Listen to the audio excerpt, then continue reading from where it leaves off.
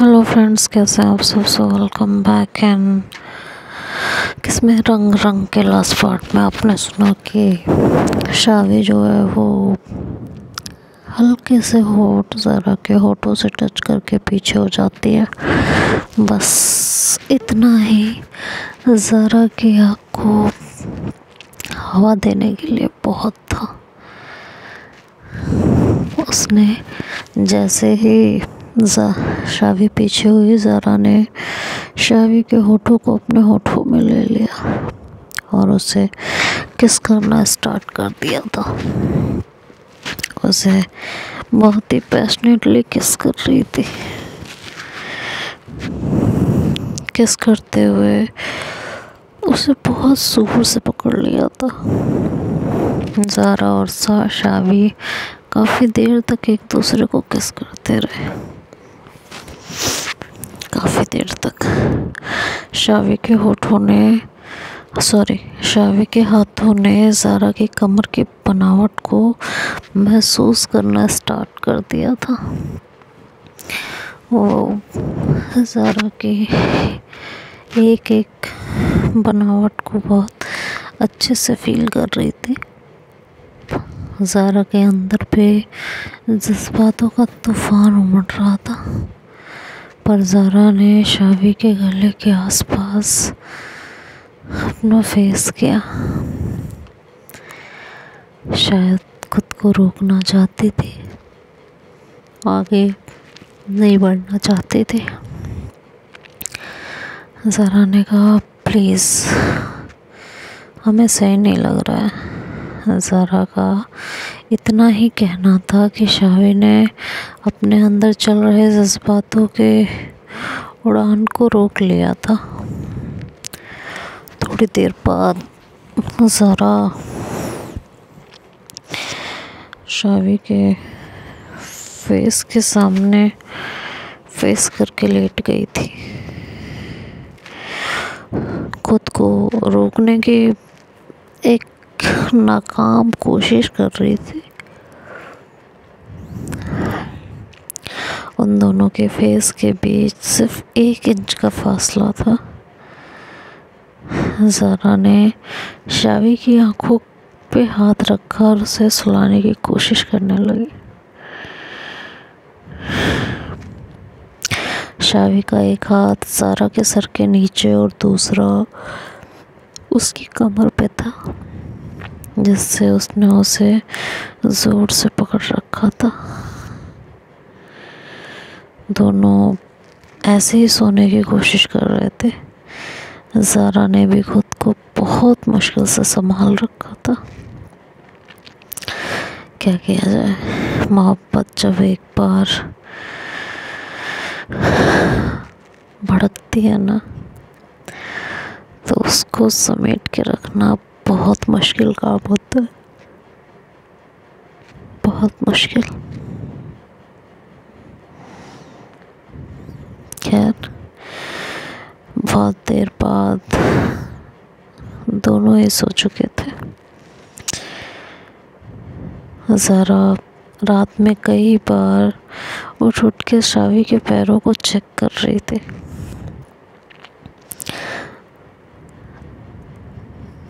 कहते हैं ना, जिससे हम बहुत प्यार करते हैं। उसे छोटी सी तकलीफ़ में भी नहीं देख पाते। उससे अगर हमारी वजह से तकलीफ़ हो तो उसका अंदाज़ा लगाना भी मुश्किल है। बस कुछ ऐसी ही बेचैनी ज़ारा के अंदर थी। वो ऐसे ही तड़प रही थी। उसे दर्द में देख के।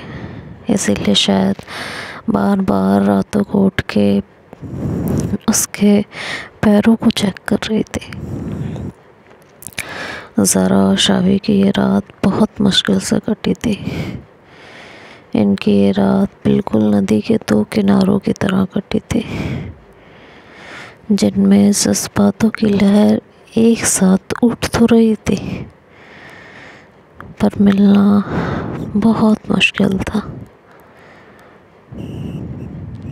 जैसे नदी के दो किनारे कितना भी चाहे, एक दूसरे से मिल नहीं पाते।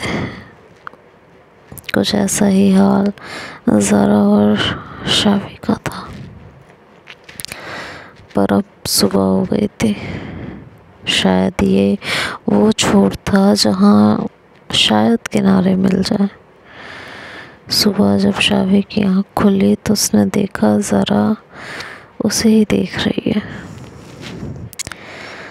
ज़ारा ने शावी को हल्की खुली आँखों से खुद को देखता पाया तो उसके फेस पे जो स्माइल थी वो और बड़ी हो गई थी। दोनों रसोई के अंदर थे। शावी ने ज़ारा को ऐसे खुद को देखता पाया तो आगे बढ़ी और सारा के होठों को, अपने होठों से कल की छून देख के गुड मॉर्निंग विश किया।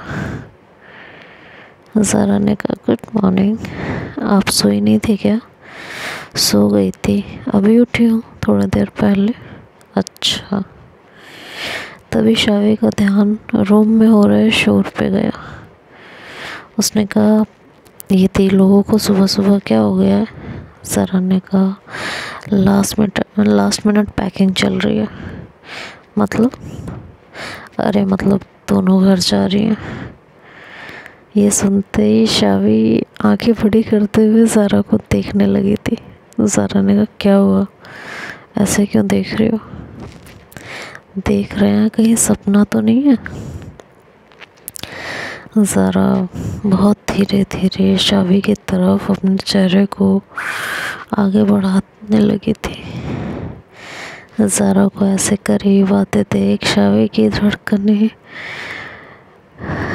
सौ की रफ्तार से चल रही थी। ज़रा ने शावी का हाथ पकड़ के उसके दिल पे रख दिया और कहा, इसे महसूस करो। खुद पता चल जाएगा। सपना है या हकीकत। ज़ारा की इस हरकत पे शावी ज़ारा की आँखों में खो गई थी। अभी वो इस लम्हे की गहराई में जा ही रहे थे कि तभी रिचा ने उनकी रज़ाई खींच दी और आवाज़ दी कि अब उठ भी जाओ। ये सब इतना अचानक हुआ कि दोनों के लिए समझ लो जैसे रंगे हाथ पकड़ जाने वाला सीन था। दोनों अचानक से पीछे हट गए थे। शावी ने अंगड़ाई लेने का नाटक किया और अंगड़ा अंगड़ाई लेते हुए कहा कि गुड मॉर्निंग दी। रजाई दे दो ना ठंड लग रही है। रेचा ने कहा, उठ जाओ और ज़ारा, तुम तो तुम तो हद कर रही हो। हम सब में सबसे पहले उठती थी ना। आज क्या हुआ है? ज़ारा ने कहा, अरे यार, नींद खुल गई थी, पर तुम लोग इतने बिज़ी थे पैकिंग में कि हमने सोचा क्या ही बोले रहने दो, क्या ही बोलें, क्या ही डिस्टर्ब करें। रिचा ने कहा अच्छा ये बात है। ज़ारा ने शावी की तरफ़ देखते हुए कहा हाँ हम थोड़ी ना इतना सोते हैं। शावी ने मुँह बनाते हुए कहा अच्छा जी, हम जा रहे हैं। ज़ारा ने शावी के गालों को प्यार से टच करते हुए कहा, अले अले अले, बाबू, गुस्सा हो गया? रिचा ने कहा हाँ बाबू ही है, शक्ल तो देखो। शावी ने कहा, हम हैं ही बाबू। हज़ारा ने कहा अच्छा ठीक है बाबू पर अब जाओ और ब्रश करो। हाँ जाते हैं। जाते हैं नहीं, आप भी जाओ। उठो, चलो। शाबी ने कहा, जाते हैं ना? ये बोल के शाबी धीरे धीरे बेड से उठ रही थी। और उसने बहुत प्यार से इशारा करते हुए ज़ारा से किस के लिए कहा?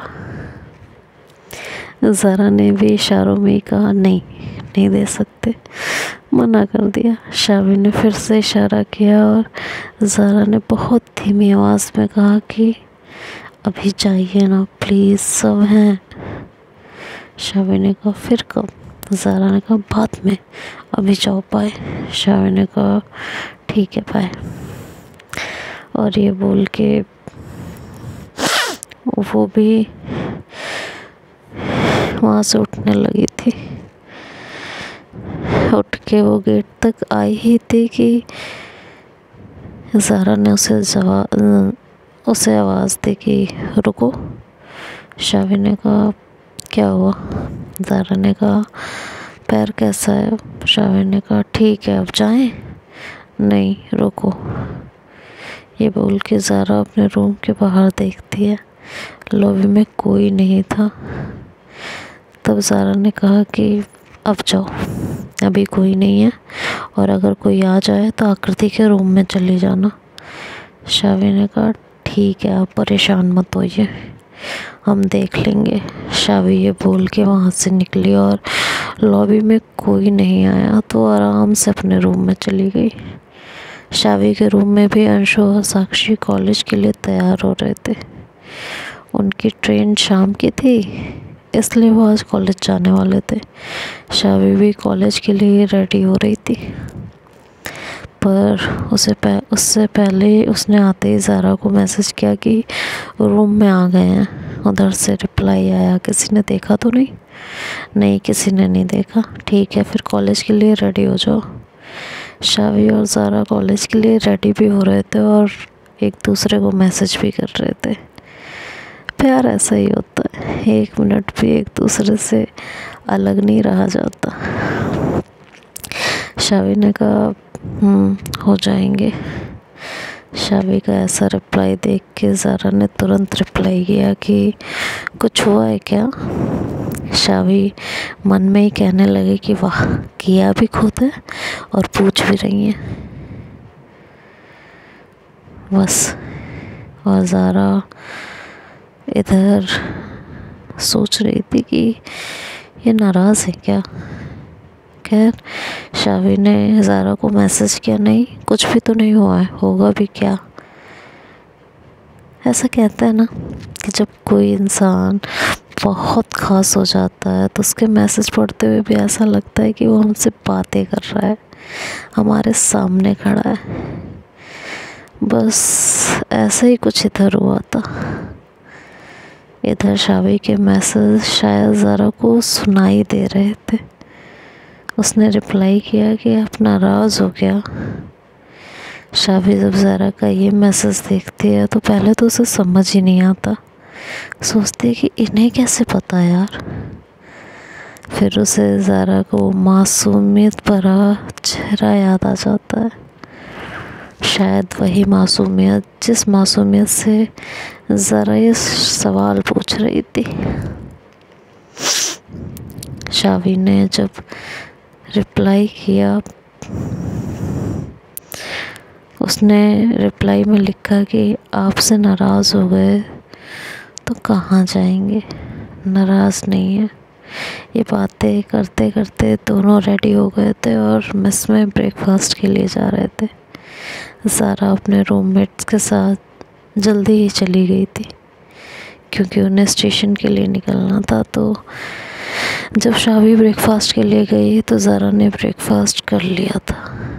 शावी ब्रेकफास्ट से पहले हैंड वॉश करने चली गई और ज़ारा भी ब्रेकफास्ट करके हैंड वॉश कर रही थी। शावी ने ज़ारा की तरफ़ ध्यान नहीं दिया था कि उसके साइड में कौन है, पर ज़ारा ने जैसे ही देखा कि अभी कोई नहीं देख रहा है। तो उसने सबकी नज़र बचा, सबसे नज़र बचाते हुए शावी के गालों पे अपने हाथों की एक हल्की सी छुअन दे दी थी। उसके गालों को बहुत ही हल्के से टच करते हुए और मुस्कुराते हुए वहाँ से निकलने लगी थी। शावी जब तक इस पर कुछ रिएक्ट करती, उसके कुछ और सीनियर भी हैंड वॉश करने लगे थे और ज़ारा वहाँ से निकल गई थी। वो भी अपनी अदाओं की तीर चलाते हुए। शावी तो ज़ारा की चाल से वैसे भी कायल रहती थी और अब इन शरारती अदाओं ने शावी को पागल ही बना दिया था। अभी वो इन्हीं ख्यालों में थी, तभी उसके फ़ोन पे मैसेज आया। मैसेज सारा का था और लिखा था, आप नाराज़ नहीं हैं, अच्छी बात है। पर मैं आपको नाराज़ होने का कोई मौका देना भी नहीं चाहती हूँ। तो अभी आगे आगे देखिए, होता है क्या? अपने दिल और जज्बात को ज़रा संभाल के रखिएगा और होश को हमेशा ठिकाने पे रखिएगा। तो देखते हैं अब आगे क्या होता है। तो नेक्स्ट पार्ट में सुनेंगे। तब तक के लिए बाय बाय टेक केयर